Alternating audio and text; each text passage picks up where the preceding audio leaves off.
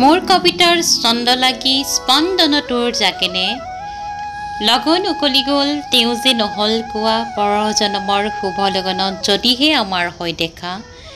অসমীয়া সাহিত্য সংস্কৃতিৰ উন্নতিৰ হকে যিকেইজন বৰেণ্য ব্যক্তিয়ে তেওঁলোকৰ অহুপৰুষাৰ দৰে অৱদান ৰাখি থৈ গ'ল সেইসকলৰ ভিতৰত বিষ্ণুপ্ৰসাদ ৰাভাৰ নাম সোণালী আখৰেৰে চিৰদিনৰ বাবে প্ৰতিজন অসমীয়াৰ হৃদয়ত চিৰস্মৰণীয় হৈ ৰ'ব। কিয়নো তেওঁ আছিল অসমীয়া জাতীয় সংস্কৃতিৰ ত্ৰাণকৰ্তা স্বৰূপ আৰু অসমীয়া সংস্কৃতিৰ পূজাৰী। এইজনা মহান মনীষীৰ জন্ম হৈছিল ঊনৈছশ ন চনৰ একত্ৰিছ জানুৱাৰী বৰ্তমান বাংলাদেশৰ ঢাকাত। সৰুৰে পৰাই তেওঁ আছিল প্ৰতিভাসম্পন্ন। ঊনৈছশ সোতৰ চনত ঢাকা নগৰীত এখন উৰ্দু নাটকত এটা সৰু দহ বছৰীয়া ৰাজকোঁৱৰৰ ভাৱত অভিনয় কৰি অভিনয় জগতৰ পাতনি মেলাৰ লগতে সামাজিক জীৱন যাত্ৰা আৰম্ভ কৰিছিল। এই সামাজিক জীৱন যাত্ৰা আৰম্ভ হোৱাৰ পিছত ৰাভাদেৱে কোনোদিন থমকি ৰ'ব লগা হোৱা নাছিল।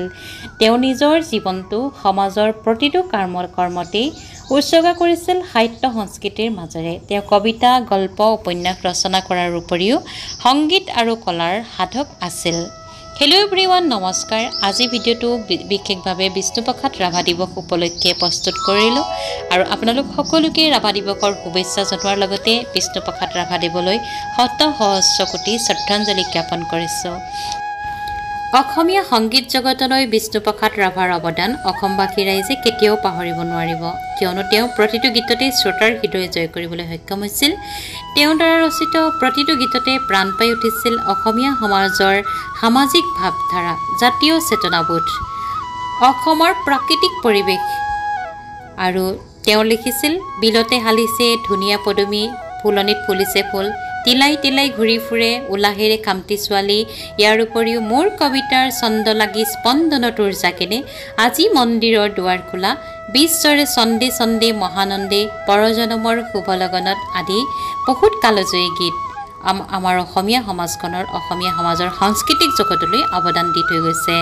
তেওঁৰ গীত আৰু কবিতাসমূহ সেই সময়ত স্বাধীনতা আন্দোলনৰ বিপ্লৱী ভাৱধাৰা জিলিকি উঠিছিল। স্বাধীনতা আন্দোলনৰ সময়ত ৰচিত গীতসমূহে অসমীয়া জনসাধাৰণৰ মনত দেশপ্ৰেমৰ ভাৱ জাগি উঠিছিল। সেই গীতসমূহৰ ভিতৰত অসমীয়া ডেকা দল আই মোৰ ভাৰতী জননী আদি উল্লেখযোগ্য।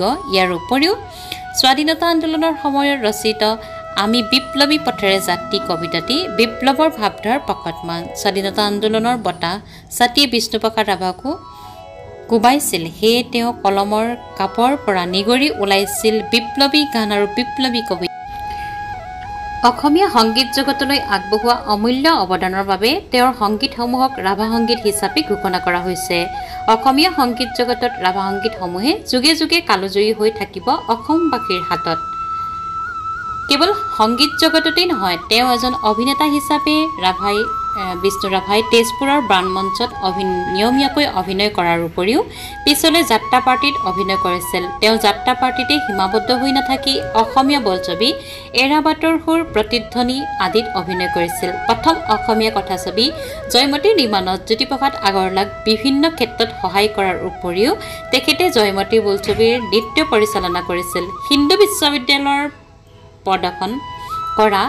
নটৰাজ নৃত্যত বিমুগ্ধ হৈ তেখেতৰ সাংস্কৃতিক বৰঙণিলৈ সন্মান জনাই সেই সময়ৰ হিন্দু বিশ্ববিদ্যালয়ৰ উপাচাৰ্য ডক্টৰ সৰ্বপল্লী ৰাধাকৃষ্ণনে তেখেতক ঊনৈছশ ঊনচল্লিছ চনত কলাগুৰু উপাধি প্ৰদান কৰিছিল আৰু তেতিয়াৰ পৰাই বিষ্ণুপ্ৰসাদ ৰাভাক কলাগুৰু বিষ্ণুপ্ৰসাদ ৰাভা বুলি জনা গৈছিল। এইজনে বৰেণ্য পুৰুষে কেৱল অভিনয় বা সংগীত চৰ্চাতে ব্যস্ত নাছিল। তেওঁ গল্প উপন্যাস আৰু অসমীয়া সমাজ সংস্কৃতিৰ বিষয়ক প্ৰবন্ধ পুথি ৰচনা কৰি অসমীয়া সাহিত্যৰ ভঁৰাল চহকী কৰি থৈ গৈছে। তেওঁ মিচিং পানেং নামৰ এখন উপন্যাস ৰচনা কৰিছিল। সোণপাহি মামিৰ হাৰ কুৰি বছৰ জেল জাল কেচ হিয়াৰ পং ফোংকা বড়ো ভাষাত ৰচিত। কেইবাটাও গল্প গেঙনি ৰেঙনি নামৰ নাটক অসমীয়া কৃষ্টিৰ মূল আভাস অতীতৰ অসম মুক্তি দেউল আদিৰ দৰে প্ৰবন্ধ লিখি অসমীয়া সাহিত্য জগতখন জিলিকাই থৈ গৈছে।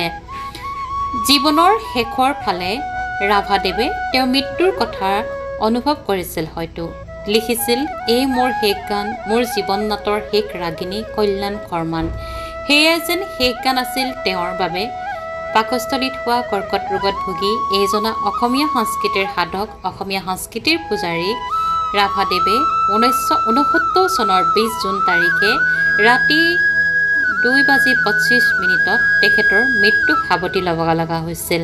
তেওঁ মৃত্যু দিনটো প্ৰতি সন্মান জনাই অসমবাসী ৰাইজে ৰাভা দিৱস হিচাপে পালন কৰি আহিছে আৰু ভৱিষ্যতেও কৰি পুনৰবাৰ গণশিল্পী বিষ্ণুপ্ৰসাদ ৰাভাদেৱলৈ শত সহস্ৰ শ্ৰদ্ধাঞ্জলি জনাই আজিৰ ভিডিঅ'টো ইমানতে সামৰণি কৰিছোঁ। যদিহে ভাল লাগিছে লাইক শ্বেয়াৰ কমেণ্ট কৰিব ছাবস্ক্ৰাইব কৰিব মোৰ চেনেলটো। বাই বাই এভৰি ওৱান আকৌ পুনৰ আপোনালোকক অন্য এটা ভিডিঅ'ত লগ পাইছোঁ।